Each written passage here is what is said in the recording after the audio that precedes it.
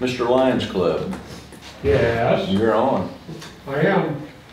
It says public address to the board, Lions Club. Mayor, if you want to step out in the front here, this is all about you. It's, it's all. That's what Kenny Thompson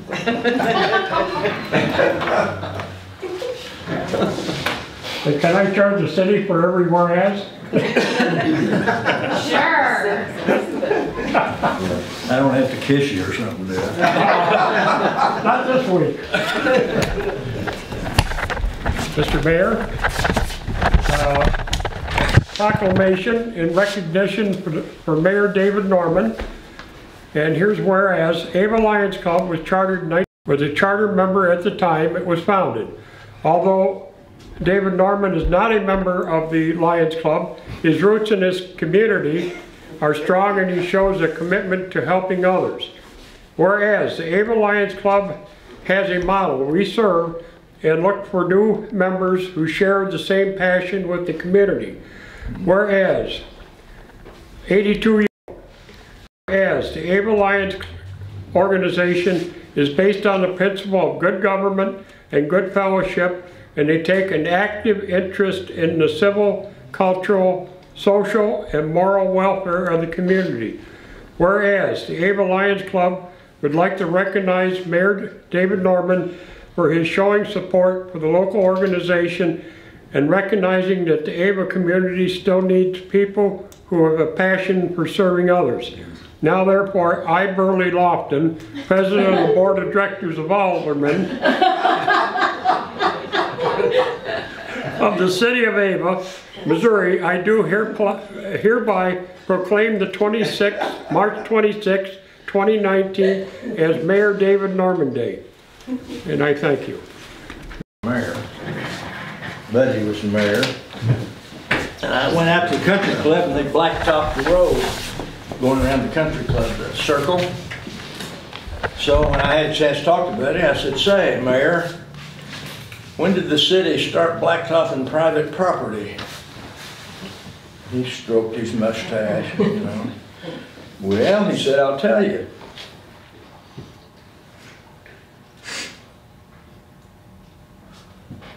When I have somebody in town that I'm showing around and I want them to see things that are impressive, the country club is one of them. And he said, I come out here and I drive that circle with somebody who might be a prospective merchant of some kind. And he said, I want the road to look nice.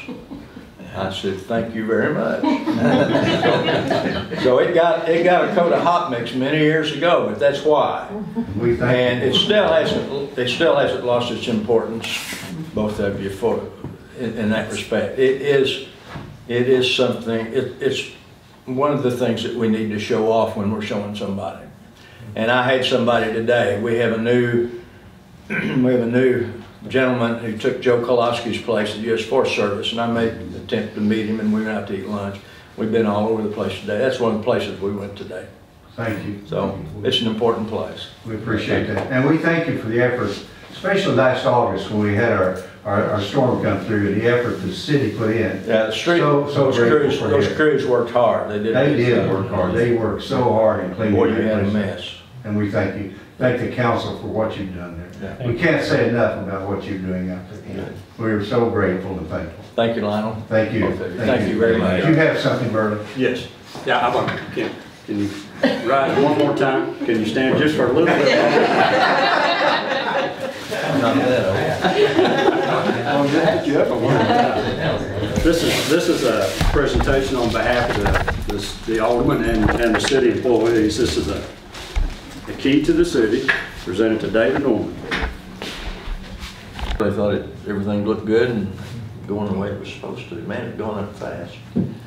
So, um, we, we'll pay a third of it once the, uh,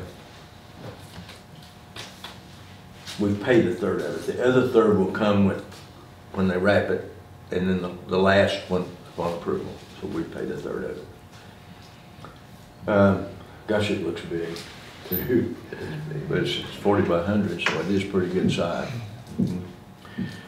Uh, have not heard anything on the lower park bathroom project yet. I, I really expect this week, and I thought maybe last week to get a final drawing on the plans.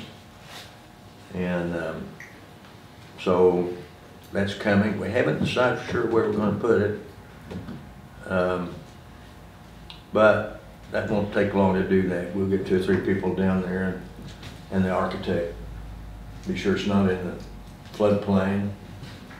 And even, even if we decide to put it in that one spot, probably not a bad idea to raise it up a couple of feet.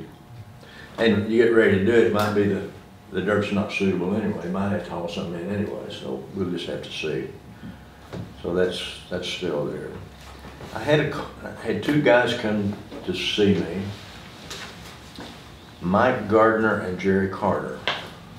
I don't know any of you ever knew Gene Gardner at Souter. This was, uh, this was his son. Jerry Carter evidently, uh, from what they said, has handled the internet for Gainesville and a lot of Ozark County. So they've been there, for- he's been there for 20 years. They're wanting to come in and put an antenna up on the, um, maybe one or two of the towers, which was all right. I mean, I, we, we don't normally object to that. I, I did not entertain the idea of switching any of the, what we've got over at this point. It was such a job to get internet out to our sheds, and it's, everything's working today.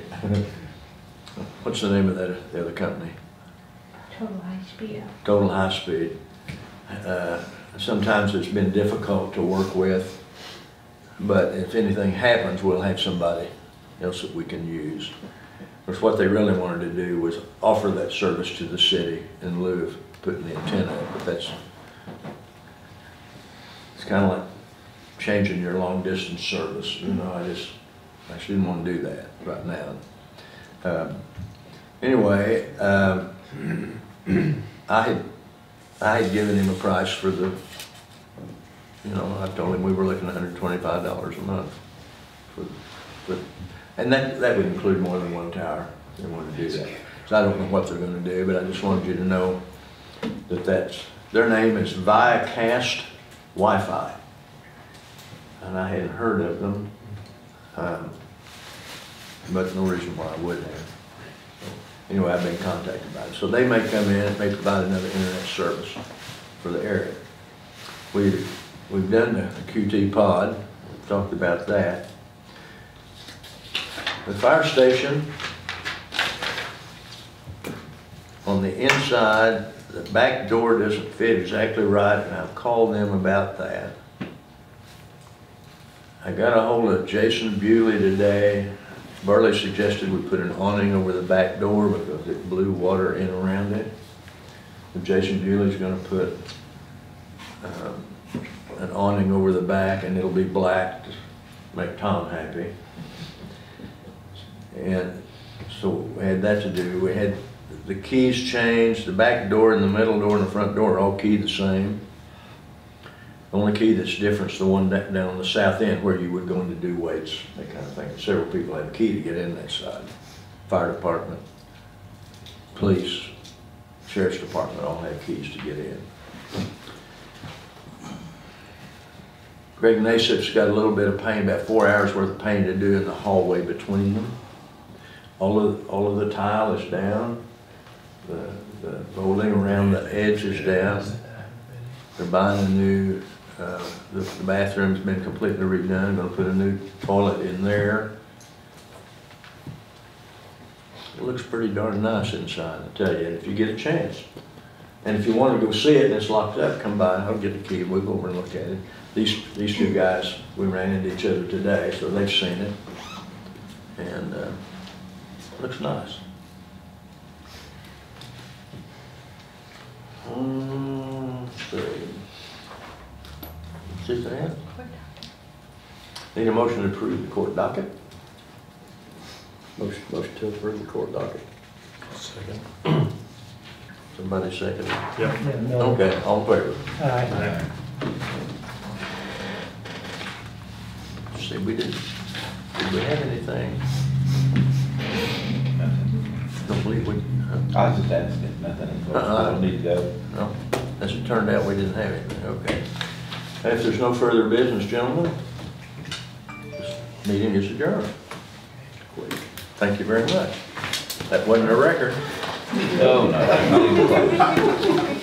Not even close. Seven minutes, seven minutes. Seven minutes is gonna stand a long time.